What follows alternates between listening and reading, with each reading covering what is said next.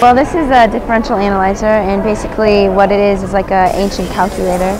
Um, and so what we're having it do is graph a circle, or parameterize a circle. Um, we can change the gearing within um, the differential analyzer to graph different figures, different um, curves.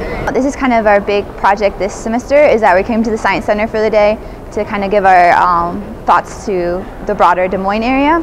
We're also presenting at Indianola High School and then Norwalk High School in May. And then last semester we presented to two high schools as well. Um, so we're trying to get the educational aspect out.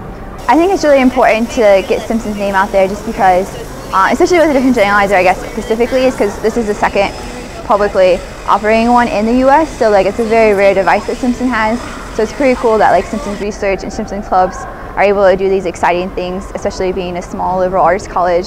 We still have a lot of big projects going on to show the community.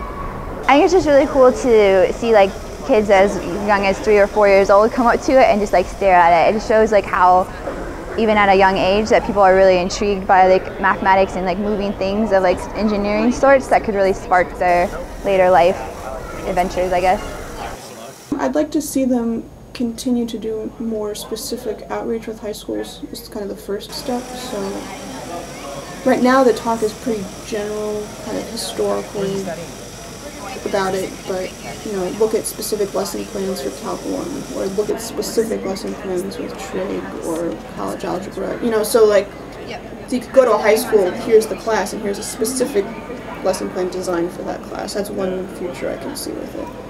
I can also see adding on to the machine, the way it's designed would allow for an expansion, so I could see adding on and then you can do more complicated things with it than what you can currently do.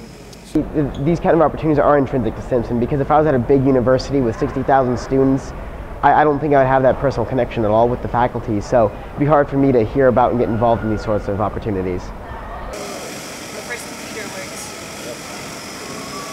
Are you guys from Simpson? Yes, yes we are. We're all students. All students, huh? Yep. Mathematicians?